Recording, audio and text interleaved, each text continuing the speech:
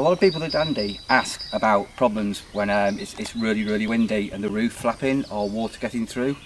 First thing to do is make sure that your roof uh, ties are right side down and that is taut so it's really, really down. The other thing you'll notice there are eye holes along the roof in various locations depending on your Dandy. I made up these uh, bungee cords myself and these are really, really simple.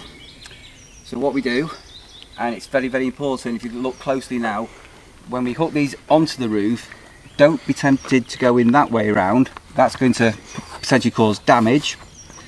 And the way to actually do it is to take the hoop or the hook I should say and put it that way around.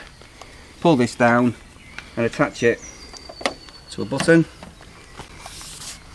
And that with your normal roof even if it's windy the bungee is allowing the roof to move but it's keeping the water and the wind out.